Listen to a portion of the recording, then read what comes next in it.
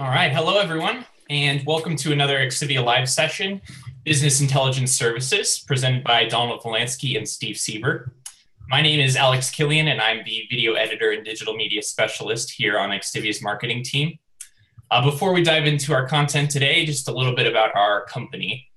XTIVIA started in 1992, and since then we've grown to more than 325 employees worldwide, and we've established a reputation as a company delivering cutting edge IT solutions and technology support for our clients' very specific requirements.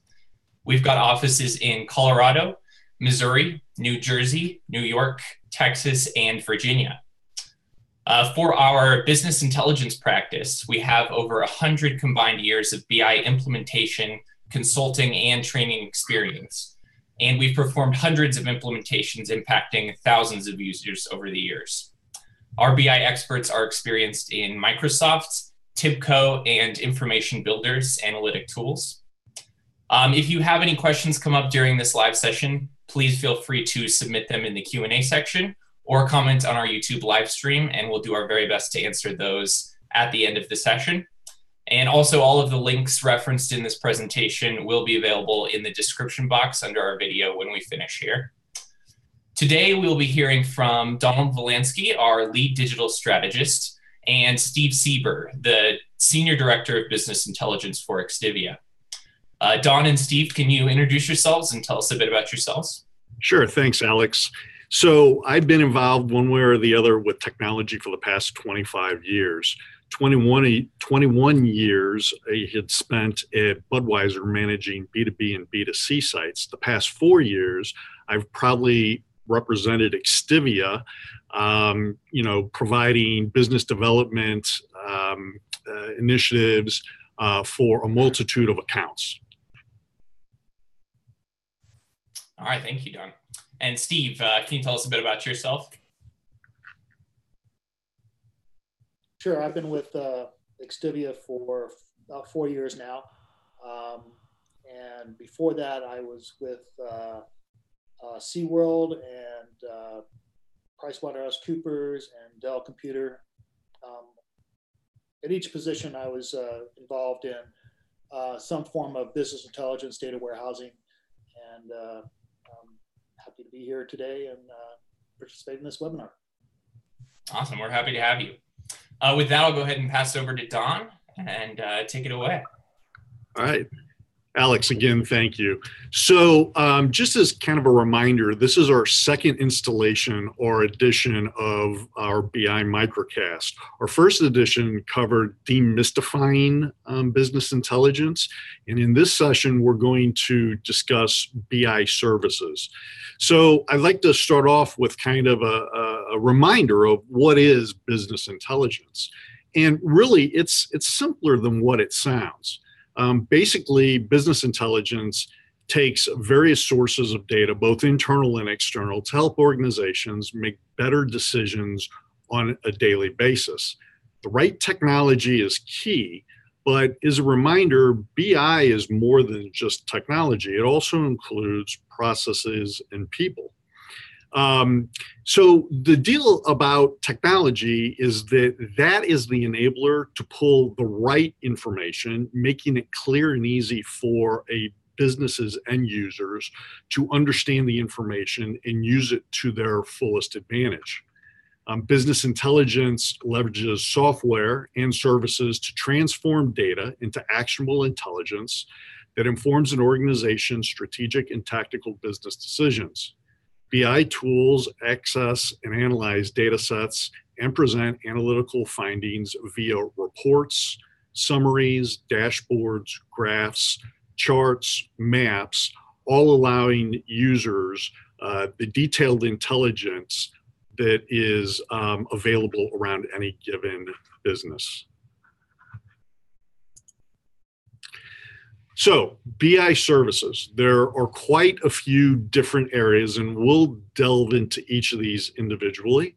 Uh, but we're here really today over the next few minutes to discuss, you know, what goes into requirements gathering, the assessment and roadmaps phase, a BI strategy, your enhancements, the tool selection and implementation, uh, ETL development, extract, transform, and load, the importance of bringing in data from various sources, custom data warehouse solutions, training, reporting and analytics, solution development.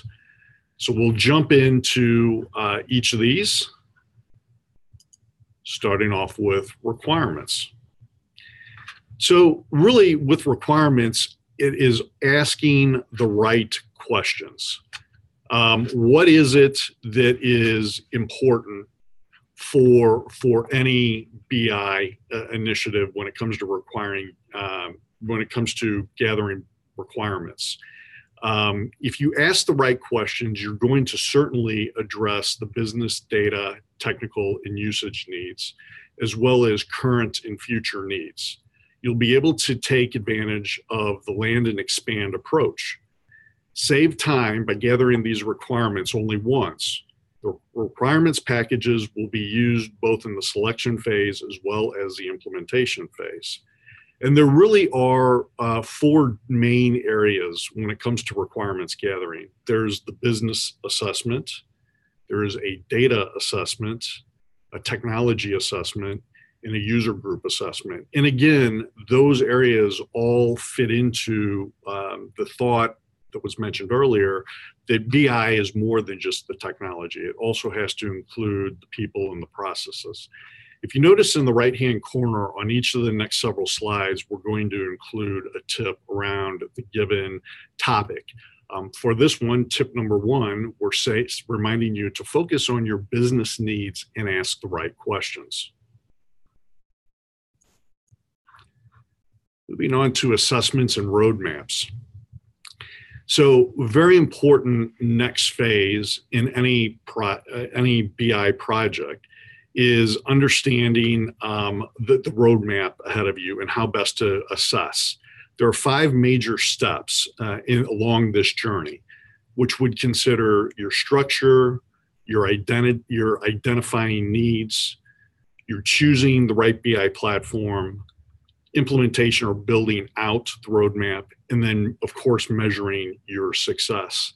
Um, it is you know important to consider um, before jumping into any given project to consider the right partner that will help you along the way, as well as considering a, a proof of concept phase that, that really kind of helps uh, determine the, the best route to take. There isn't necessarily one clear defined path. Um, there typically are many different ways to to tackle a BI um, initiative, um, but really sticking to these guidelines will help you move down the path. Uh, tip number two, we want to remind you state the business goal and IT goal side by side. It would be a huge mistake if you didn't consider both aspects when completing any assessment. It cannot just be driven solely by IT. The BUs or the businesses have to have a stake in the initiative. So let's talk a little bit about strategy. Um, here, again, as I just mentioned, nice segue, you want to give business ownership you know over. Uh, they, they have to have a, a, role in the overall strategy. What are their needs and wants? Uh, additionally you're going to want to monitor uh, bi use and adjust as necessary. Perhaps you're just starting um, a bi initiative and you have nothing other than internal dialogue um, and thoughts about where to go However, you might find yourself further down the path where you have uh, existing systems um, and you want to refine or revamp the use of the current BI.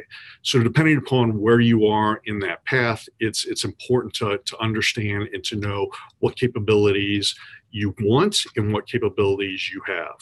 Um, along the way, you'll definitely want to validate, validate, validate, look at the information, uh, which in technology has a way of shifting and changing all the time. Um, you know, again, put the business problem first. What is it that you're trying to solve with your data? You're going to want to prioritize and build in for process improvement. Um, we say here upskill the citizen data scientist. It's important to because there are so few data scientists within any organization it's really important that that you help your end users um, so that they can in turn give you the information that you're looking for to build out the right bi platform. And again which kind of goes hand in hand empower your staff to to tell their story with the data available um, tip number three BI success requires more than just a strong technology platform. So, enhancements. Um, you know, here what we're really talking about are several different areas that enhancements can focus on within a given uh, organization. There's the sales representative role. You know, what what is it that they need um, in order to be successful? There's the fin- financial analyst aspect. Um, you know, they they need to drive overall performance and improvement. Do they have the right tools and the right data, allowing them to make those decisions or provide those? There's a marketing manager aspect to this. Um, what is it that, that they need so that they're tracking the right customers and providing uh, the right price points?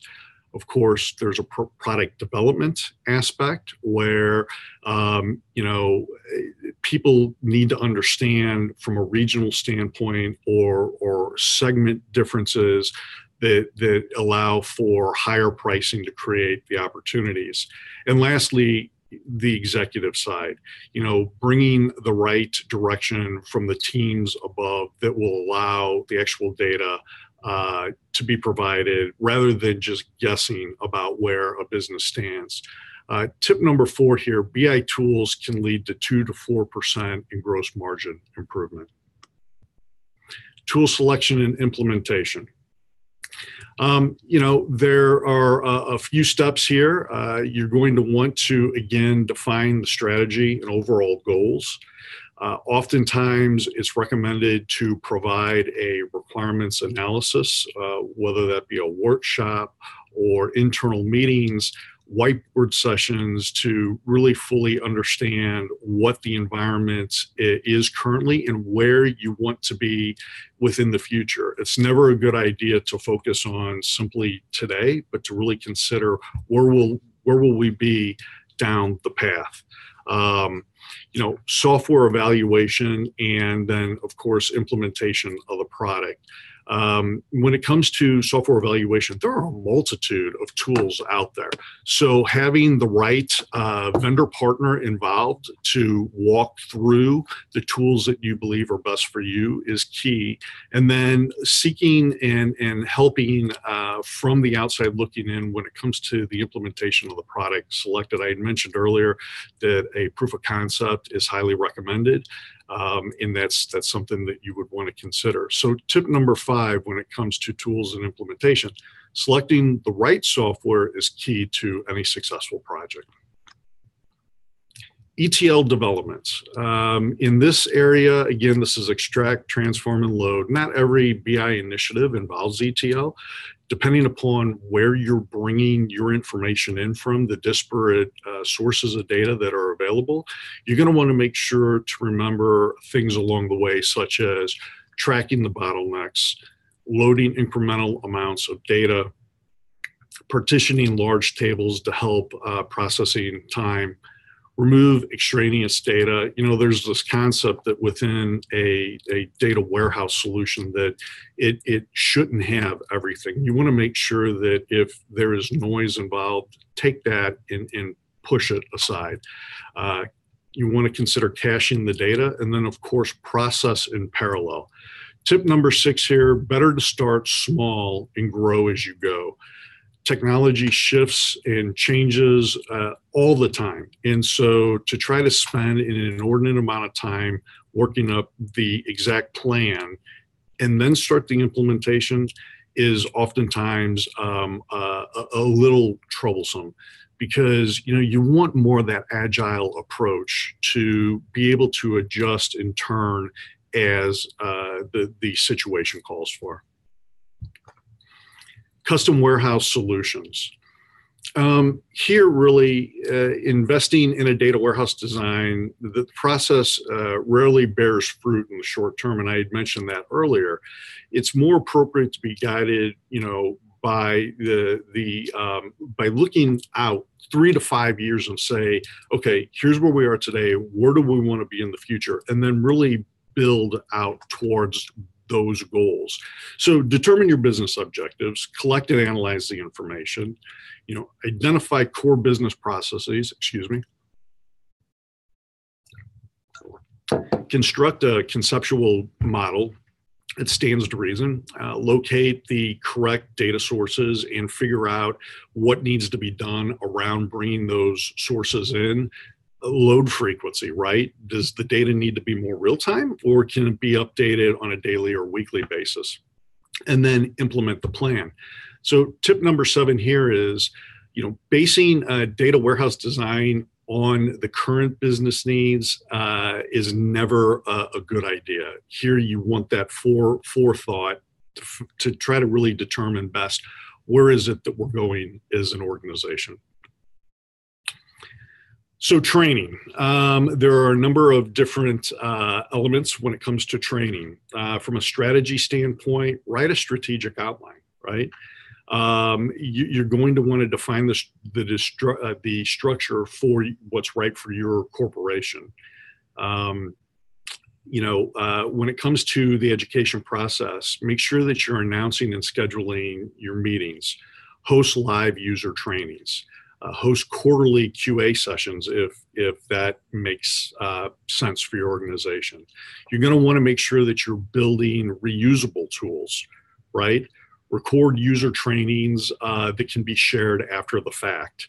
Um, you're going to want to, you know, when it comes to uh, building out or promoting, build an FAQ where there's a, a place where your folks can can go and find uh, answers to questions uh, pretty pretty quickly.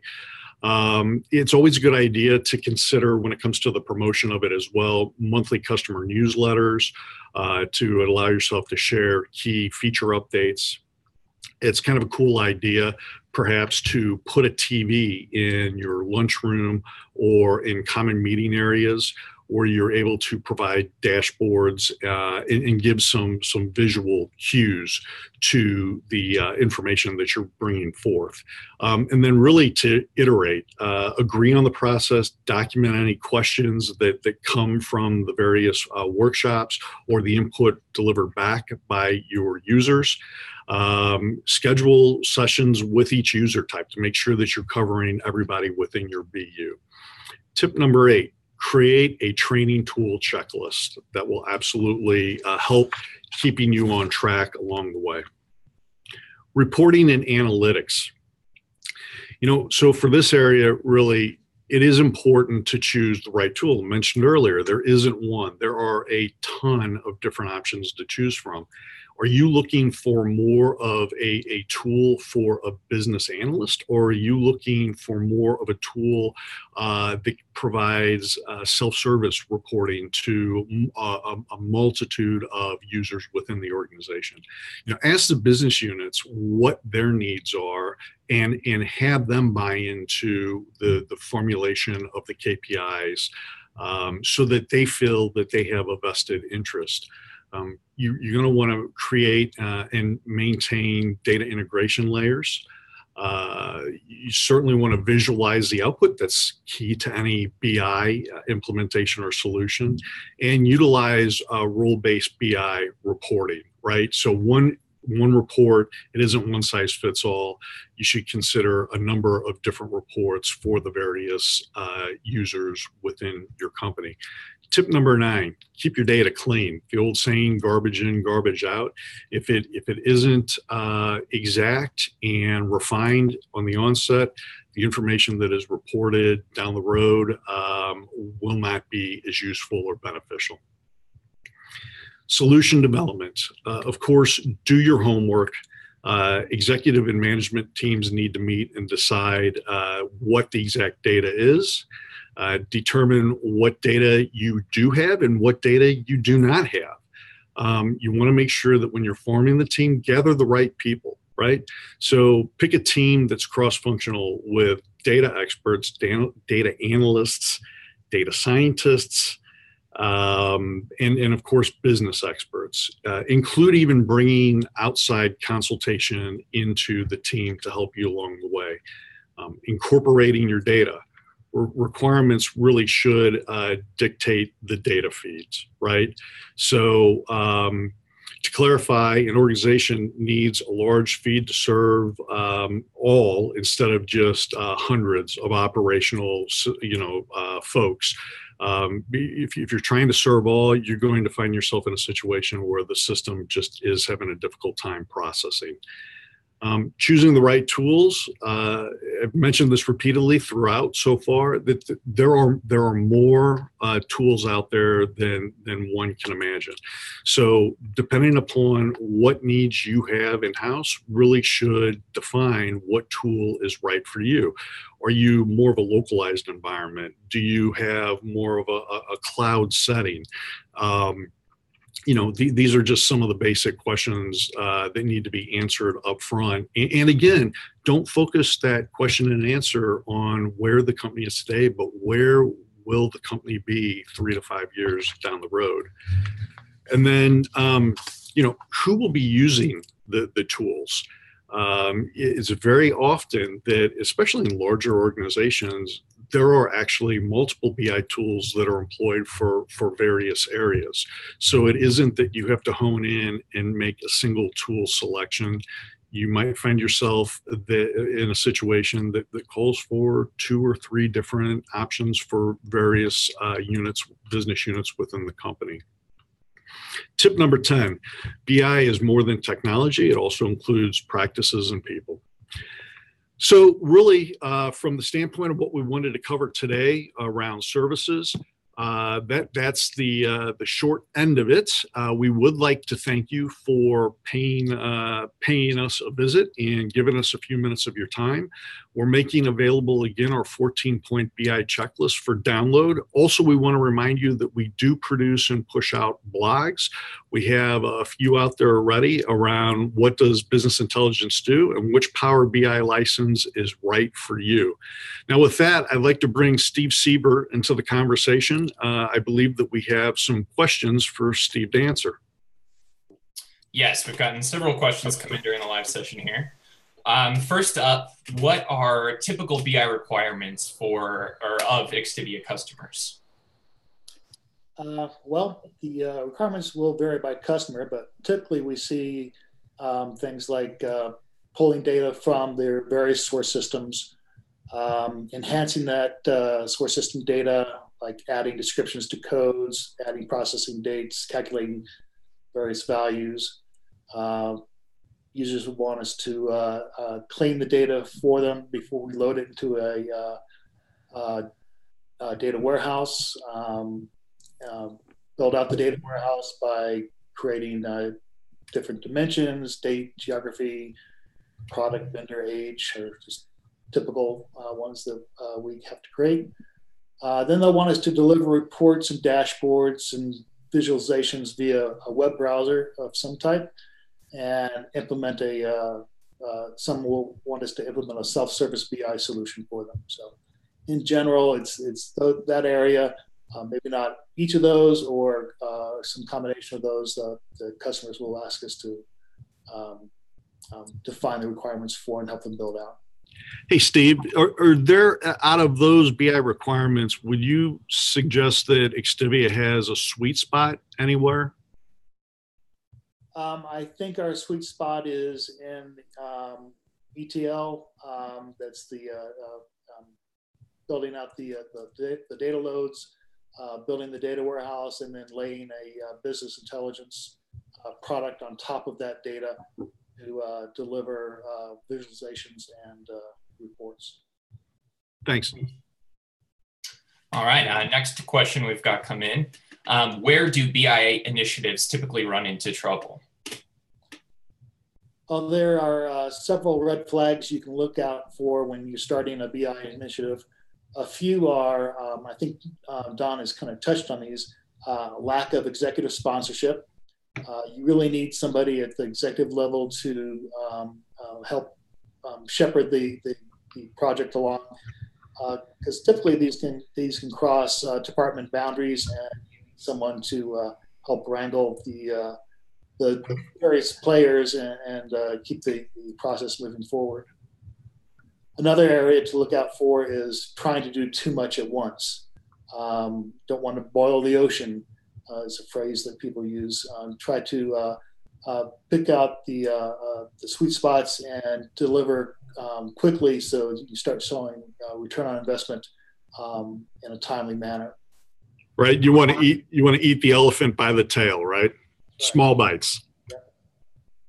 Um, and another area to look out for is you have to make sure that business user users are involved in the in the project early and often. Um, they have they really have the uh, the uh, information that you're going to need to to build a product that actually um, delivers uh, solutions that they they want and need. Um, so uh, make sure that you bring in business users uh, early into the process. All right. Um, our next question, how important is the ETL process in a BI solution? Uh, on a large uh, BI uh, in initiative, ETL is a foundation of the solution. Um, so it's critically important in those areas to, uh, to build an ETL process that's efficient, uh, robust, uh, self-documenting, and can easily handle rerunning loads when issues occur. Um, basically, the, the purpose of the ETL process is to um, bring the data in, notify you when there are there are issues, and notify you where those issues occur. Um, you want to be able to verify or, or, validate that your load your loads ran um, completely and accurately each day. And if there's a problem, you need to be able to uh, diagnose that quickly and easily. All right. Um, I think we have time for one more question here. Um, what types of data warehouse architectures does XTIVIA support? We support the uh, you know the industry standards Kimball and Inmon uh, models. Uh, we also support a hybrid of, of, those two models, and we also uh, support the Data Vault model, which is geared towards fast and flexible data loads uh, that don't require reengineering when your source data model changes because of business events like uh, acquisitions and mergers. Hey, Alex, I'd, I'd, like to ask one more uh, of Steve that, that I received here. You just touch on uh, which reporting and analytic tools that XTIVIA supports as well, please? Sure. Uh, well, we have strategic relationships with Microsoft, TIBCO, and information builders, and we can support reporting and analytic tools from, from those vendors. Um, we can also reach out to other vendors if necessary and uh, uh, support those tools. We've, we've done uh, work in the past with with IBM, for example. Um, but uh, Microsoft TIBCO and Information Builders are, are our um, uh, main partners. Microsoft, we support uh, my, uh, Power BI, uh, SSRS, and SSAS. Um, on TIBCO, we support the um, Spotfire tool and JasperSoft. And Information Builders, we have experience with uh, WebFocus and Data Migrator for ETL processes. Thank you. Sure. All right, it looks like that's about all the time we have for today.